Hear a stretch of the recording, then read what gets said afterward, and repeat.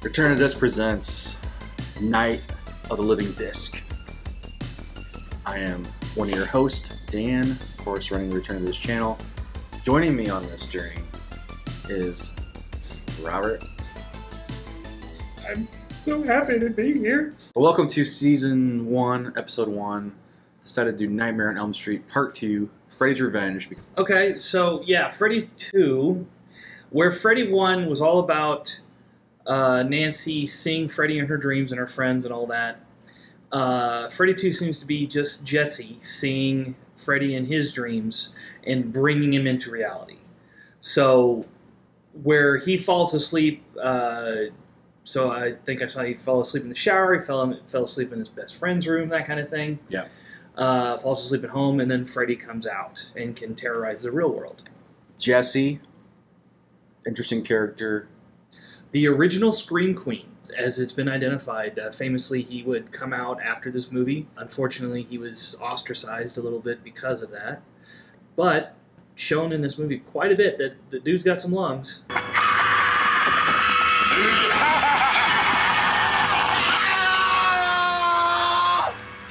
Yeah. And he is, in fact, a Scream Queen. And I gotta say, you know, while it wasn't the greatest actor performance of all time or anything, he, he deserved a little better than what he got. I enjoyed the performance more the second time. First time, the movie was hard to get through, and it was still kind of hard to get through a little bit this time.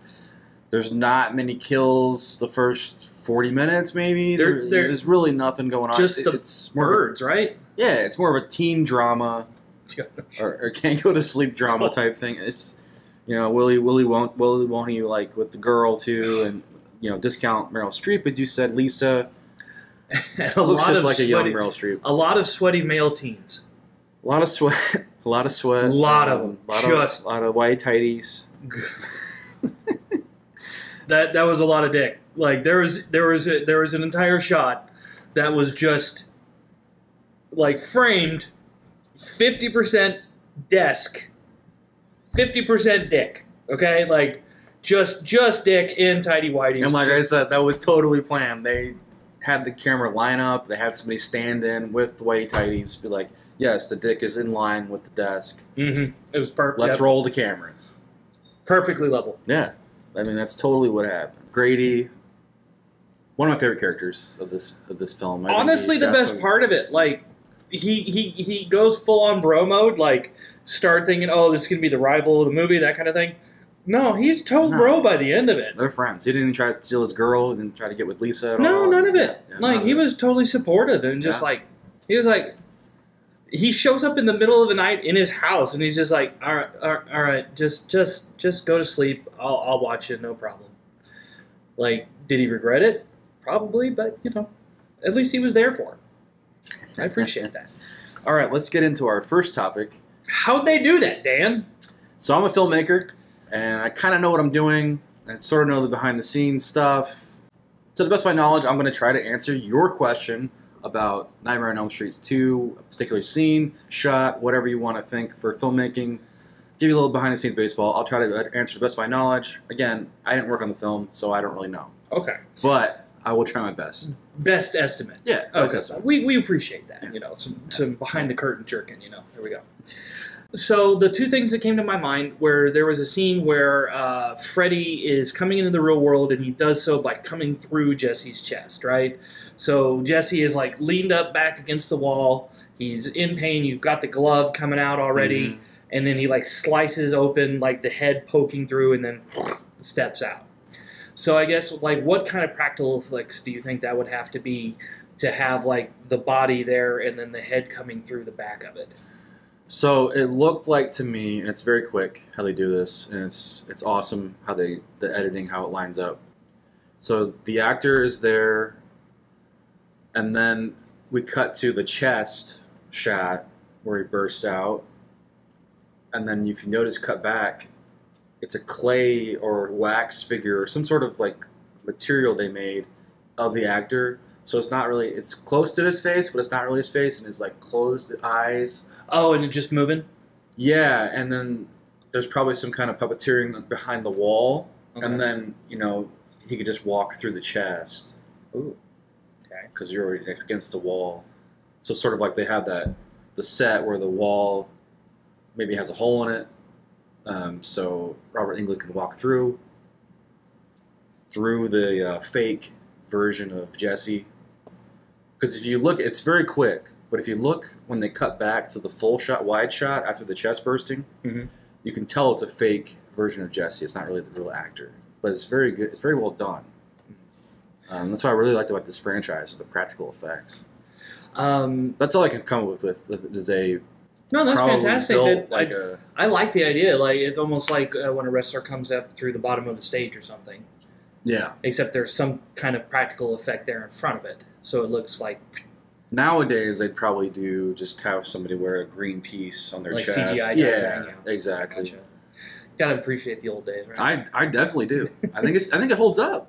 oh no, I think it yeah. really does. Uh, and then another great shot was um, uh, Jesse starts screaming because Freddy's trying to come out, and it goes into a shot through his mouth, and all you see is like Freddy's eye moving. Again, um, if you notice, you don't see the eyes; you just see like the face cut. So that's probably probably a fake uh, Thing just around the camera.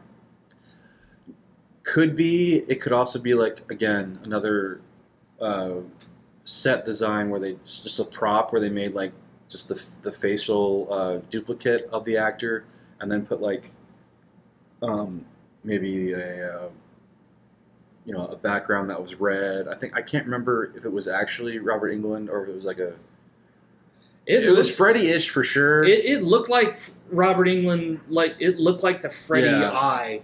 Yeah, but it's two layers. You have the mouth piece, and then you have the, the background where the, whatever where they had the actor or whatnot. They had Freddy in the background. That's how they did the shot, probably. It's wild. Put the camera in front of that. Yeah. So moving on to topic number two, or, or category two, movie tree. This is where we try to connect the movie that we were talking about to other movies, Mhm. whether it be the cast, director, and whatnot.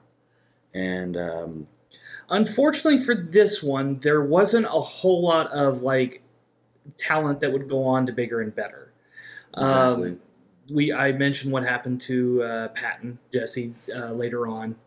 Um, I mean, obviously Robert Englund's in this movie. He's the iconic Freddy Krueger. But this is also the movie where he starts showing up as other roles. He's uh, the school bus driver in the first part of this movie. New director. Wes Craven's not in this. Not Yeah, directing this I- one. I don't think he. I think he comes back for three. I'm not sure. I think he comes back as a writer on three. If I'm Yeah. not mistaken. uh, and Robert Shaye is still involved Yeah. at this point. Yeah. Um, yeah. But yeah, movie tree will usually be a longer segment. We yeah, because have a lot, they're so- especially with like uh, the ones coming up, Urban Legends and Wishmasters. We, Right. We've got a little bit more to work with. Stench.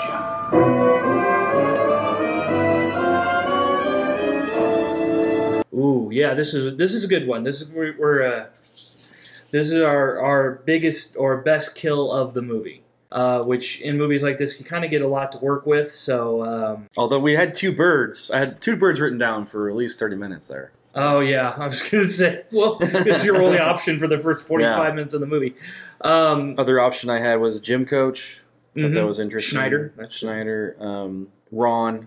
Yep, Grady. That's the one that I chose That's a fine choice. because I think that's Uh, a pivotal scene. Honestly, that it's between those two. Like another scene we're gonna cover in a different segment uh, is is iconic. Is not even iconic, just a big part of the movie. But like as far as actual like Freddy kills here, like these are these are two good uh, the two best ones of the movie. Kind of a toss up. Are you doubling down? Are you going to double for both? You can.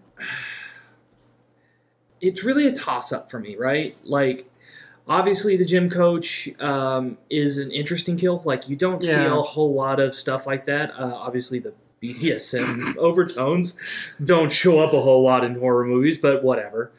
Um, uh, but I would honestly say that Grady's goes down as the best acting in the movie Yeah. like that is like true terror on that dude's face when he's seeing what's happening to his best friend and then going into Freddy just coming up to him and just like full on like Vader choking him up against the door and just Yeah. driving it through like best acting in the movie and I think this is where that Grady scene is where Freddy gets his full powers back, right? Yeah, because I think that's why like there's enough terror involved at this point that he can like just kind of start doing what he wants. because he gets fear from the parents even can't get the door Mhm. open. I mean, obviously, yeah, and then they, you know, they're gonna see their son dead eventually, but they can probably guess that when they see the knives coming through the door and the, the blood coming through it. And you know even before that, Grady was like, "No, you're fine. You're you're going to sleep. You're nothing's wrong with you, Jesse." Hundred percent. And he turns the lights off, and that's when you know everything goes Everything to goes to hell, chaos. And so, hundred percent. so I, that's why I picked that one. Uh, so I guess we're in agreement on that one. yeah, Cool. I mean, obviously, yeah. Honestly, there there's only two. Yeah, there's not many. Um, I think those are the only two single Freddy kills in that movie. Uh, so you kind of have to go with those. Oh, hello, Zero. Thank you for joining us. All right, let's move on to most memorable moment of the movie. Yeah, the mm, mm. Four M's most memorable movie movie moment. Most memorable movement moment. Most memorable moment of the movie. That's what I have written down. I just have mm. Times four. so that'd be twelve. All right. Okay, um, gotcha. Uh, what are you going to go with? I am going with the opening. I think this is a great opening. Oh, the school bus. and that whole sequence, and bringing it back to the practical effects with the miniatures. And I thought it was just a really well promise of an excellent sequel. Now, for me, a lot of it's downhill for there Yeah. for the next thirty minutes, and then it Yeah. picks back up. Thank God. But I really think this is one of the better openings of the franchise. That's why it's memorable for me. I'll, I'll go with that. Um, I'm recalling. I'm, I'm going over in my head some of the other openings, like uh, Nightmare on Elm Street one, pretty low key. So I'll give you that. And three is the scene with uh, Kristen, and that ends with her like getting her wrist cut. So Yeah, I'm talking openings, not endings. No, that's what I'm saying. Yeah, yeah, yeah. That's why I said opening for three is Kristen, like having the first dream of that. If you're coming into this Yeah. with hype from the first one, I feel like it really delivers. And Yeah. At least the first and Yeah. the ending part do. The the, yeah, the hour in the middle is kind of the right. problem. Yeah, the opening delivers. Um, I have to go with uh, the poolside rampage. Two reasons. Number one, uh, this is the only time we see Freddy like go multi kill on us. Like he's normally a one on one type Right. of person. Sometimes he gets multiple people in a room, but rarely does he end up getting like getting several at one time, which what he does here. And it actually like I think um, in that one scene doubled the kills of the first movie period and I think account for a quarter of his total kills throughout the franchise. Because he gets like I count seven or eight. It's a great choice. and I didn't even think about it being like the time that Freddy kills multiple people in one scene. Mm-hmm. I mean, I think both of those scenes are, are worthy of the. Mm, uh, and finally, we're down to our ranking. Which we're gonna have a weird system. We're not doing stars. We're not doing one out of five, one out of ten. Screw all that. We're pro wrestling fans. Yeah. And there you go, Rob and Dan. Yeah, yeah. We are going with a rating. We're going it by uh, sys- uh we're going by a wrestling It's a match card system. Exactly. So, uh, just a quick explanation. I think we have uh, we're it's one out of five, but it's if it's a, a one, it's the pre-show, which means that you're not even on the main card or anything. If it's two, or we're calling it mid card, Mhm. just kind of filler. Mid main event is our like right dead center of the show, uh, three out of five type thing. Uh, No belt on the line, really. But yeah, it was- but, it was- but it it's going to be a good. match. It's going to be a great match. Uh, it's like if Had AJ, some moments. yeah, it's be like if AJ Styles took on Chris Jericho. It's like Mhm. you're going to see something great, but it's not what you paid money to see. Right. Four is opener. hmm It means you're trying to get off to a hot start. Uh, you do something good to make everybody happy for the rest of the be able to want to sit for three hours and watch the whole pay per view. Uh, and then obviously five out of five. That's The your main ev- event. I like that. Belts on the line. You paid you paid your sixty dollars for this pay per view for this moment. This is your Cody Rhodes versus Roman Reigns at WrestleMania. Like you were. This is you got to see it. It's gonna be stick in your memory for a long time. So that's a brief explanation of it. Now, what do we want to give this one? I'm giving it a pre-show. Unfortunately, I just I can't quite bump it up to anything else. I mean, I I'm, I'm right there with you. I, I have it written down pre-show, possibly just in catering. Okay, like this, like honest to God, if you're gonna watch the entire Nightmare on Elm Street series, if you just skip this one, it wouldn't hurt a whole lot. no, it probably wouldn't. Like you're gonna see one, and you're gonna see, uh, which is easily your a great opener, like main event type worthy movie. Um, and yes, do they get weaker as you go on? Probably by everybody else's standards, but this one you could honestly skip and you would be fine. I agree, man. And because the first one for me is the main event, hmm and it goes down to pre-show now, so So you go you go main event to pre-show. That's that's a pretty Yeah. hard dip. So it is. Uh, but in my opinion, uh, you know, three does make a good bounce back. So hopefully we'll get to cover that at some point. But I know there's so many of you guys out there that are big fans of Nightmare on Elm Street Part 2, Freddy's Revenge. Let us Mhm. know in the comments your thoughts. This has been uh, episode one of Night of Living Disc. Be sure to subscribe, like the comment, like the video. And if you like this video, please share it on social media. Yeah, yeah. And Rob, Robert, uh, thanks for doing this. We'll do it again uh, next week. Dan, Daniel, uh, I will. I'm looking forward to it.